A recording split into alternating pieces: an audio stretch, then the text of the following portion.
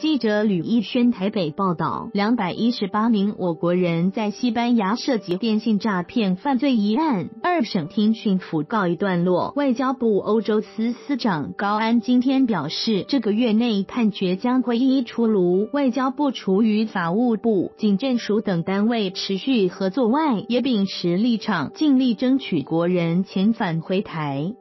西班牙与中国联手打击电信诈骗犯罪。去年十二月羁押两百六十九名嫌犯，其中包括两百一十八名台湾人。我方虽提出遣返要求，并于今年一月时召见西国代表 Jose Louis Echanets，表达探将国人遣返回台的立场，但西班牙政府内阁会议仍同意将涉案台籍嫌犯全数引渡至中国。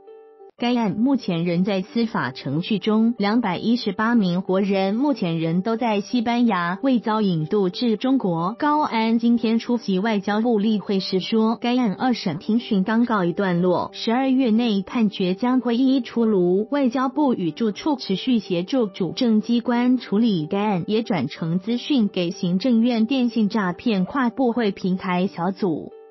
高安也说明，我方希望尽量国际嫌犯回台。不过，该案基本上因是个案，聘请律师之后还有上诉，司法程序将较为冗长。